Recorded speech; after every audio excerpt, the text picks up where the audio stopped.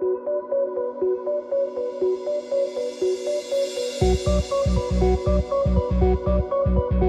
you.